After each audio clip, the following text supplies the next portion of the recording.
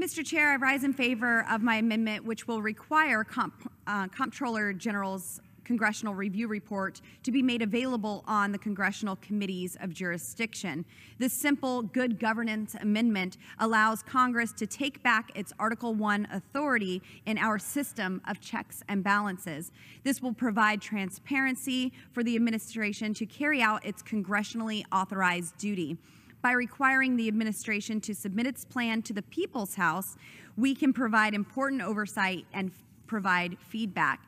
It's time for the legislative branch to actually do its job rather than ceding all the power to the White House and bureaucrats. Our founders were determined to create a government whose branches work together. By requiring the Comptroller General to submit the Congressional Review Report to the Congressional Committees of Jurisdiction of the rule, we will allow members who know these issues best to examine the real life impacts of these executive regulations. Congress needs to take back its power and advocate for the American people we represent. My amendment will ensure these voices do not go unheard, hold this administration accountable, and ensure Biden's streak of unchecked power comes to an end. I urge my colleagues to vote in favor of this amendment as well as the underlying bill.